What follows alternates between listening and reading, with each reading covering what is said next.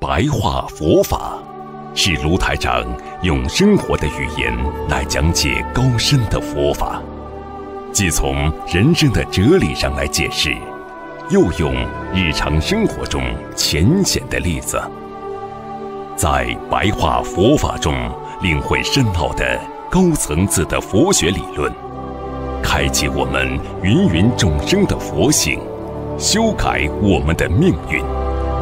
请收看卢台长的白话佛法。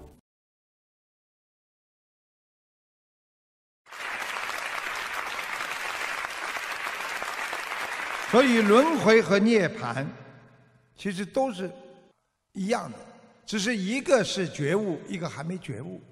没觉悟的是轮回，觉悟的是涅槃。那么对你如果证悟佛道的人来讲，他们应愿力。如果一个人证悟了，就算面临着轮回，啊，可能会轮回，但是他们认为这是菩提，因为我知道我不能轮回，所以我才会学习菩提，啊，就不会被众生的业力所牵引，就不会在业海当中。成佛，所以人在业力当中，师父经常跟大家讲的，有的时候倒霉的事情来了，就像被业力牵引一样，甩都甩不掉，流转生死，甩都甩不掉，所以要修掉人性的贪爱、无明、不正见。所以，一个人要念经，来转换自己的思维，来转换自己的念头，来圆满自己的功德。所以，师父今天跟大家插一句：为什么叫功德圆满？很多人做了很多功德，但是不圆满呐。你知道不圆满和圆满那是什么概念吗？你修了半天的心。举个简单例子，你一遍大悲咒念到一半，三分之二你停掉了，这叫不圆满。你把一遍大悲咒全部念完了，这叫圆满。那你们现在知道了吗？如果功德也是这样，你如果把这件功德做了圆满了，这个能量大不大？如果你只做一半以上的功德，你说和全部做完有头有尾？哪个更有功德啊？这就是师父跟你们讲的，好好的修掉人心的贪，不正见，看别人总是把人家往坏的地方看，啊，念经，好好的改变自己的观念，否则死亡都不是你的终结。大家记住这句话：什么叫死亡不是你的终结啊？你以为死了就没事了？你死了之后，有的还要下地狱呀，有的还要惩罚呀。所以彻悟，那就是解脱六道轮回，求观世音菩萨才能了脱生死。啊，心灵法门那是观世音菩萨的慈悲。那么用现代话讲，就是我们。人道就是去往我们佛的路上的一个中转站。你们全部现在在中转站当中，如果你们在中转站当中好好的考试，好好的改变，那么你们就转到了天上，进入佛界；否则，你们可能就转为六道轮回。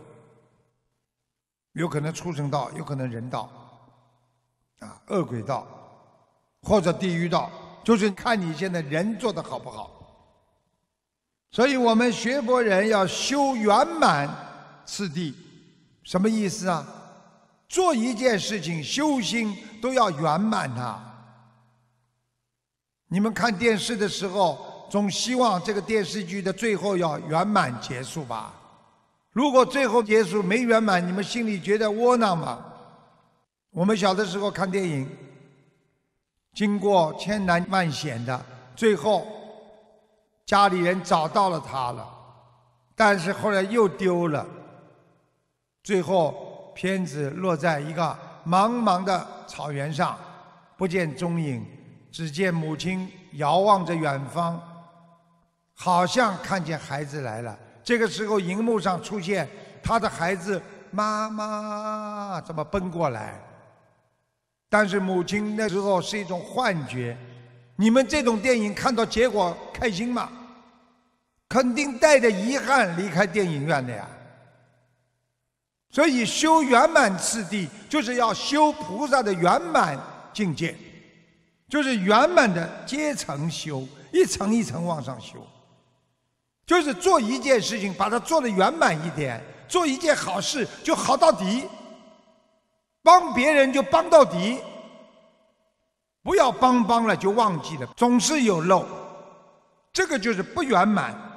如果你能够修到圆满次第，你就一定会有波罗蜜，你的智慧般若都会生出。所以世界万物的变化离不开成住坏空，它是生灭的一种现象。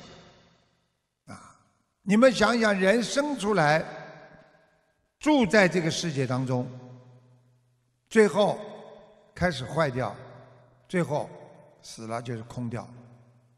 没有一个人不经过这个四个过程的，连房子都是造好了、成了，然后大家住在里面用了，然后慢慢这个房子老化了、坏了，修修补补又三年。等到最后，这房子实在不能住了，拆了，那就空了。那人也是这样啊，它是一种生灭现象，啊，他不会因为你的乐观说：“哎呀，人不会死的。”别人都说你长命百岁，你活一百五十岁、两百岁，不是因为你乐观，他就能改变的，也并不是说你今天不是学佛的人。你的命就会改变。很多人说我不学佛怎么没那么多事？一学佛怎么有这么多事情？你去问问看，你去看一看，不学佛的人是不是事情比我们学佛的人多得多？所以要懂得理解和改变，那是学佛的真谛。人生最后，大家都是什么都得不到，永恒。不会降落在人间，只有你本性的真如修到最后，你才能得到法性充满、智慧充满，你的功德圆满。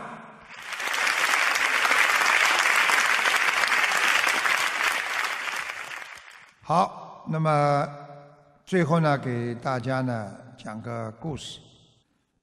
这个故事呢比较有意思。一般的师傅跟大家讲，这个佛陀当年的故事啊，总是有佛理和哲学的意境在里边的。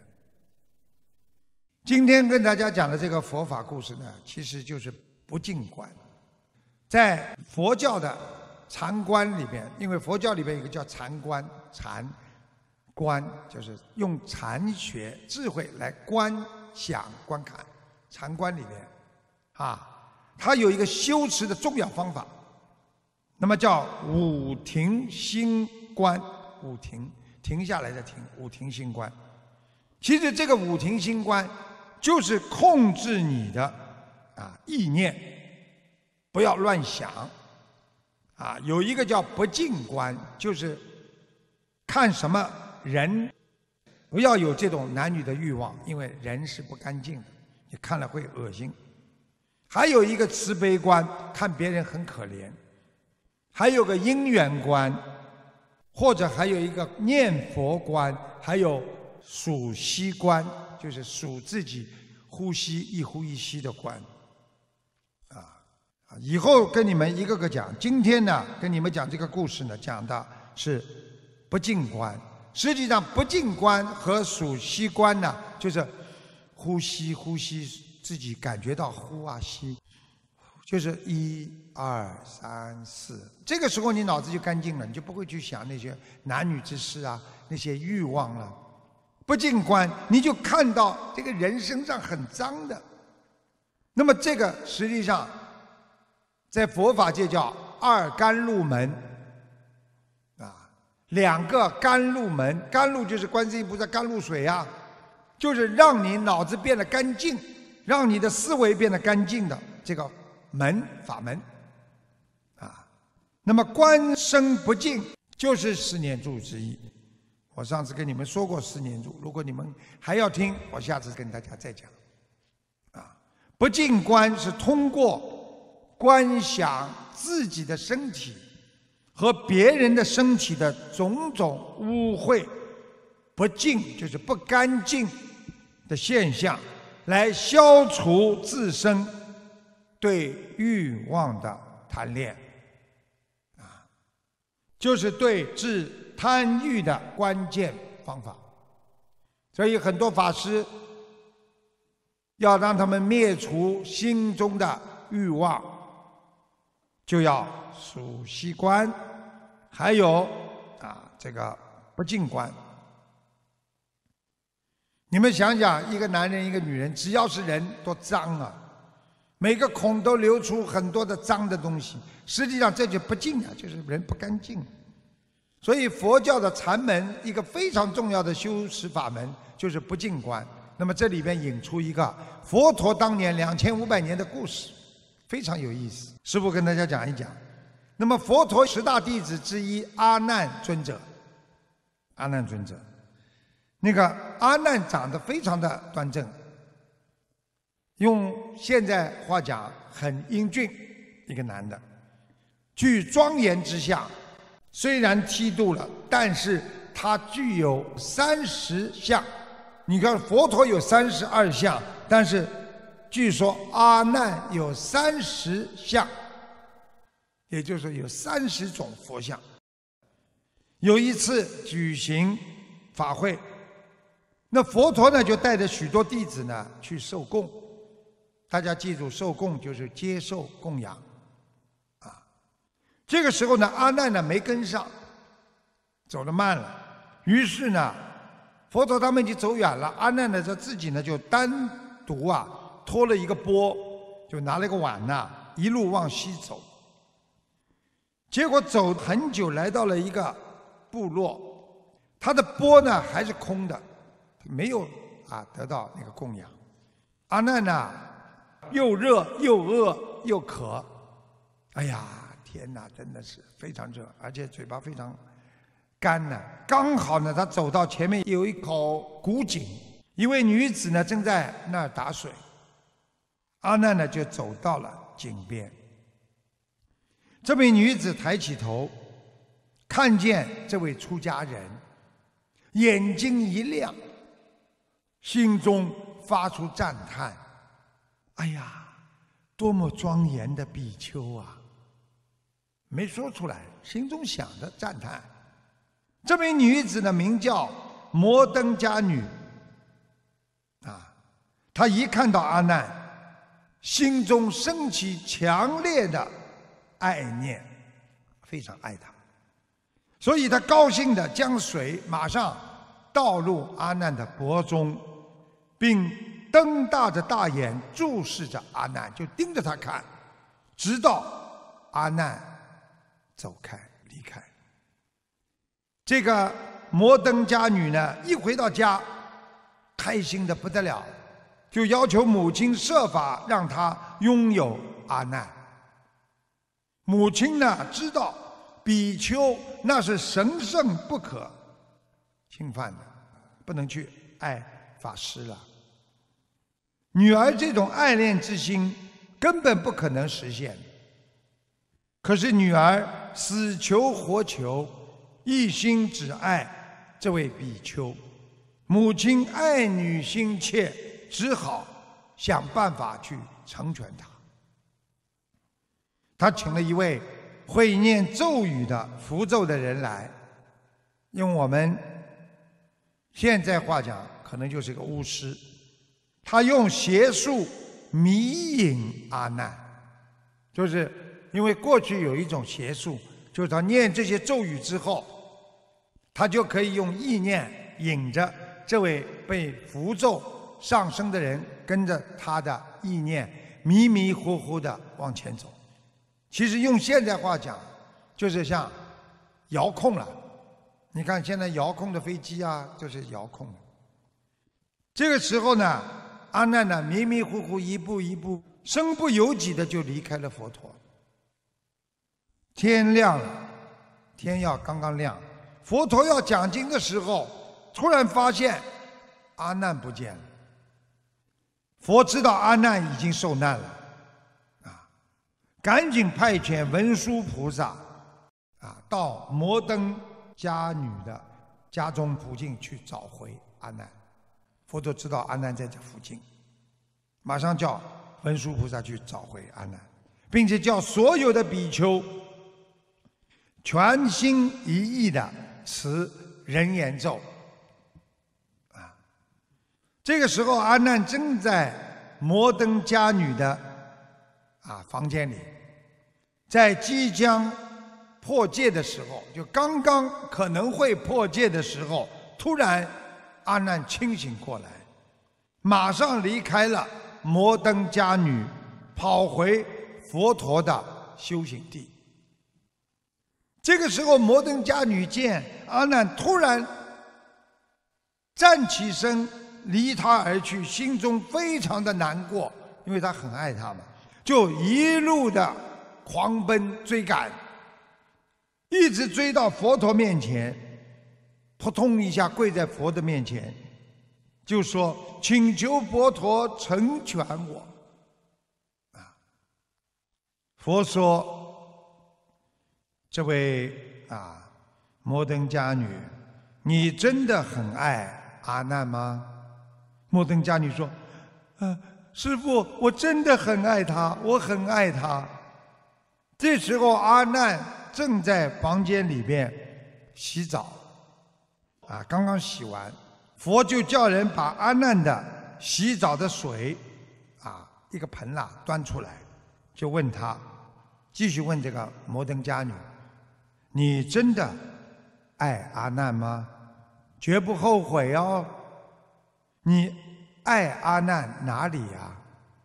那女的说，呃，我爱阿难全身，我都爱。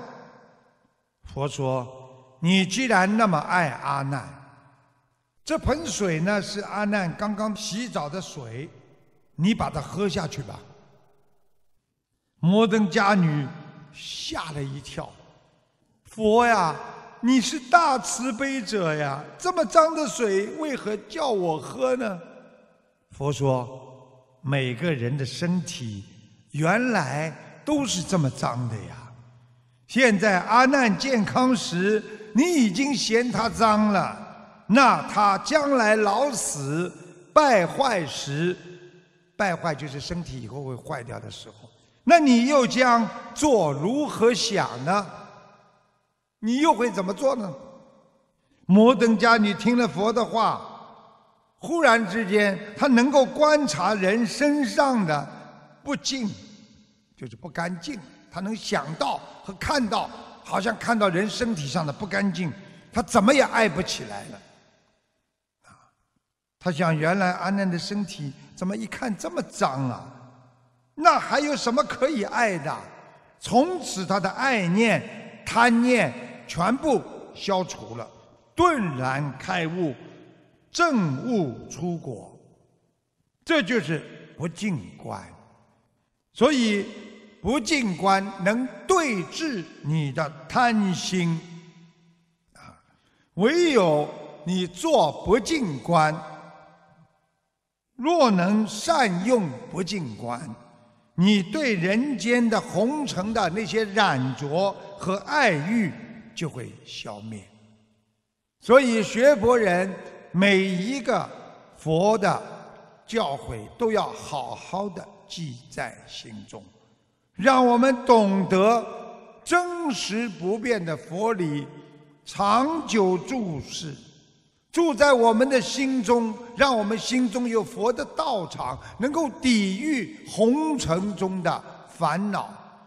所以，希望大家好好的去修心学佛，去观自己，能够懂得人是会改变的，但是改变是痛苦的，犹如莲花，必须改变。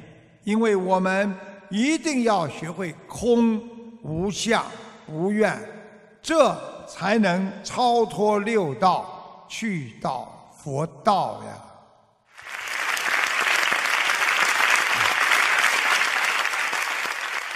好，今天呢就跟大家讲到这里。好，我们下次节目再见，谢谢大家。